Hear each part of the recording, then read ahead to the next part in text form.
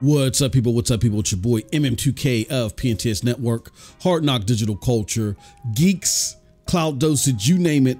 And we're here with another GEIX podcast version of NRO Podcast. We are live now. So come on over to GEIX, go to twitch.tv forward slash Geeks Crew and be part of the discussion. What are we talking about today on NRO Podcast, episode 41? Well, we're going to talk about the controversy behind Tim Stuart and what he had to say about the Microsoft gaming strategy.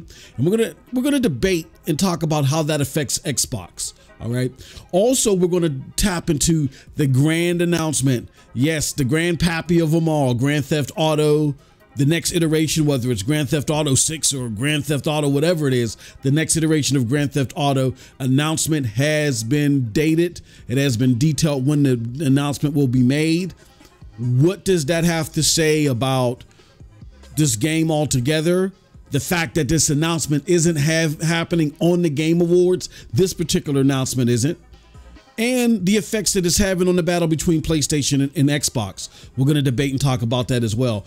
And we're also going to tap into what's going on here with gamers feeling like it's okay to break NDA.